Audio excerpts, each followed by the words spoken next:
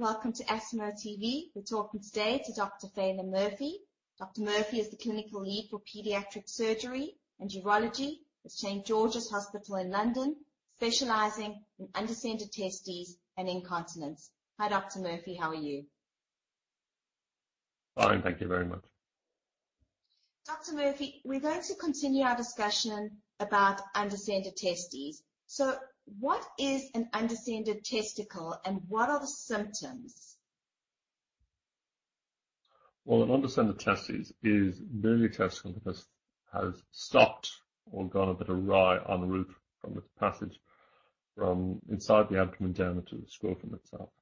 In reality, the vast majority of these children are detected on postnatal checks or by review by the parents, because it's very obvious to the parent that things are not symmetrical. They don't really have an awful lot of symptoms. In in the latter part of childhood, if the testicle becomes problematic at that stage or ascends, then the child may notice a lack of symmetry, or the parent may notice a lack of symmetry. There can occasionally be a bit of ache an occasional bit of discomfort, but really very little else. How is an undescended testicle diagnosed?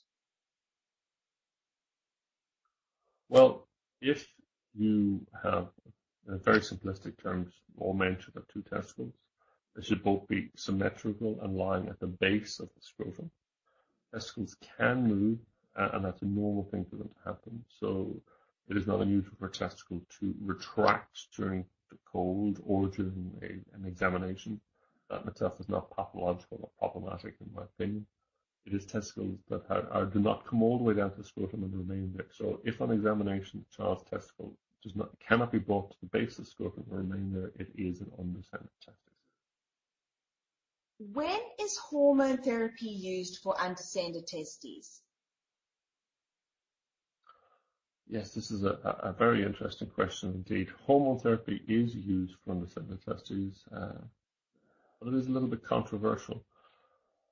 It is used in different ways and in different parts of the world. It's quite common in parts of uh, South Germany, Poland, and Switzerland for hormone um, therapy to be used. Uh, uh, but there are some arguments about it.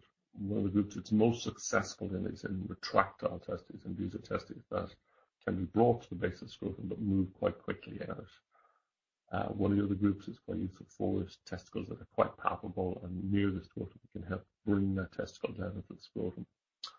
The vast majority of surgeons still tend to do the open procedure because there are a number of concerns about whether or not that giving these hormones are really, truly beneficial, and there's some controversial uh, and alternative views when you look at the results about whether or not there may be uh, issues in the long term. So as such, within the British Isles, the vast majority of centers would do this operation openly, and even within Europe, the vast majority would do the operation, though a small number would use hormones. We await uh, greater and larger studies to demonstrate that hormones would be more efficient. What is a testicular prosthesis? A testicular prosthesis is basically uh, like a breast prosthesis, a large bag, Uh, which is testicular shaped, which be placed into the scrotum. So uh, generally, they would be used in older children in order to replace a testicle that's lost.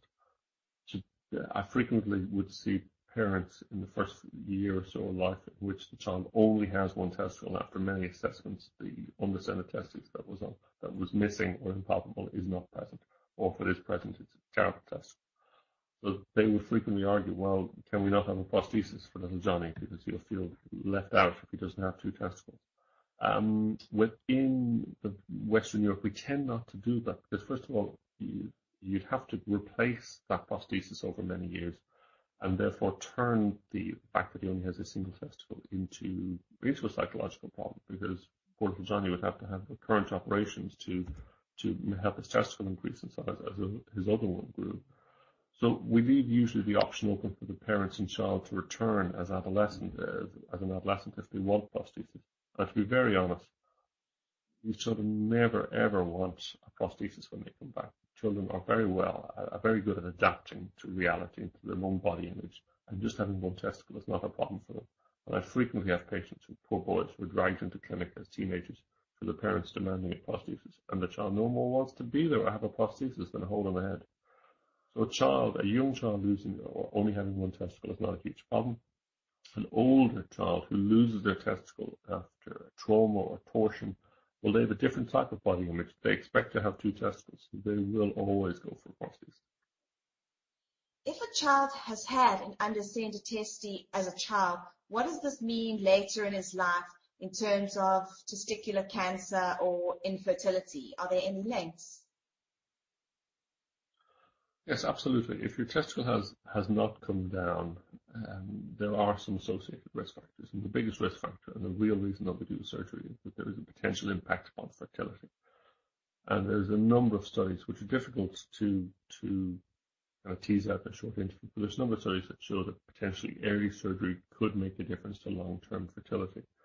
But in reality, if you have a single palpable testis that can be brought down, the impact on fertility, although there is a statistical impact on fertility, it's probably not going to make any great difference to you in your normal day-to-day activity, and you will be able to be fertile. Um, as regards malignancy risk, yes, there is a malignancy risk. If your testes didn't make it all the way down at the first go, there is a higher risk of malignancy.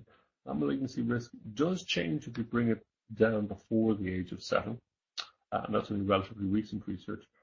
But in reality, it's more important that the testicle is brought down so the child or the adult can self-examine. The risk of malignancy for a child with an undescended palpable testes that's brought down is seven times higher than the rest of the population. But the vast majority of men do not examine their testicles. It's one of these things that they just don't do.